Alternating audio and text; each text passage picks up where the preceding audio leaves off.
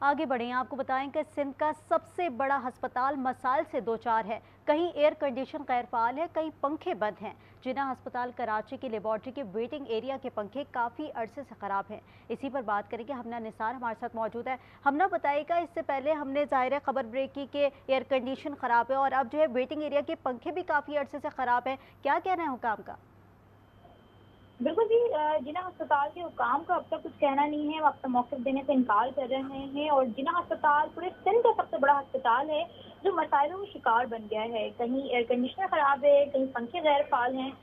Laboratory کے waiting area کے پنکھے کافی عرصے سے خراب ہیں۔ جنا ہسپتال کی لیبورٹری ویٹنگ ایریا میں دس پنکھے لگے ہوئے ہیں، جس میں سے چھ بند ہیں۔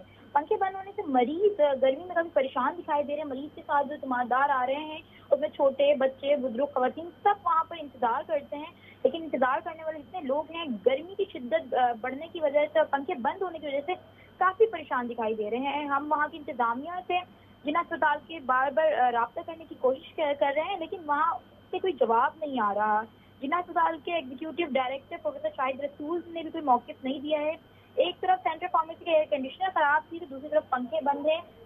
یہی صورتحال رہی تو شہری جو ہیں، جتنے بھی جنا اسپتال آنے والے، وہ اسی طرح پریشان رہیں گے۔ گرمی کی شدت بھی ان کو پریشان کر رہی ہے عوام کافی پریشان دکھائی دے رہی ہے۔ ہم نثار اپڈیٹ کر رہی تھی آپ کا شکریہ۔